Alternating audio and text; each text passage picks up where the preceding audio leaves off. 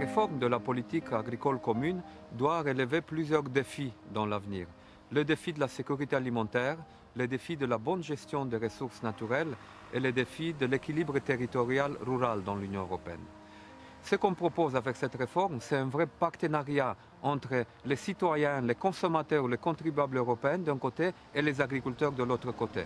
L'Europe a besoin de ses agriculteurs, les agriculteurs ont besoin de soutien public. J'ai décidé d'orienter 30% des aides directes vers l'incitation euh, des agriculteurs à des pratiques agricoles bénéfiques pour l'environnement, et ceci dans l'ensemble de l'Union européenne.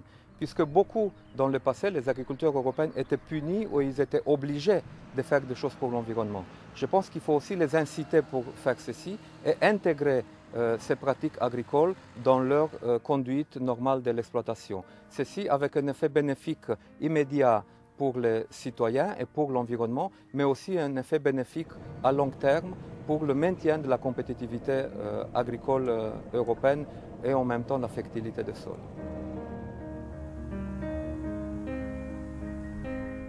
Le revenu agricole est parmi les plus bas de tous les secteurs dans l'Union européenne. Et de plus, ces dernières années, on voit que ce revenu est toujours en baisse.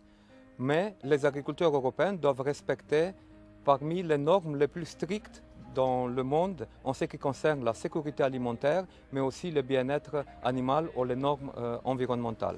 Pour cette raison, dans la future politique agricole commune, on a décidé de maintenir le paiement direct, mais ce sont des paiements directs d'un soutien financier direct aux agriculteurs qui seront mieux ciblés, qui seront plafonnés et qui seront focalisés vers les agriculteurs actifs. De cette manière, les contribuables pourront aussi mieux comprendre pourquoi et quel type d'agriculteur il soutient avec euh, la contribution financière annuelle.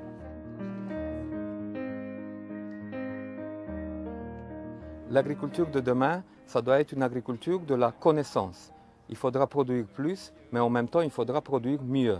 C'est pour cette raison que dans la future politique agricole commune, le budget dédié à la recherche appliquée et à l'innovation va doubler et va passer à plus de 4,5 milliards d'euros pour financer à la fois la recherche pratique, l'innovation, son application dans la pratique avec l'appui de la formation, avec l'appui du conseil, avec un travail plus proche et plus intense entre les agriculteurs et les chercheurs.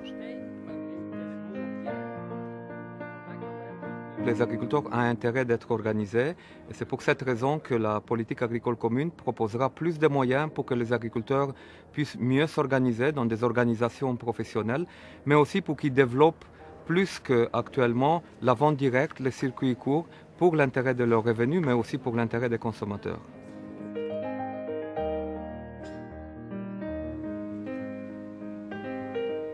L'Europe a besoin de ses agriculteurs.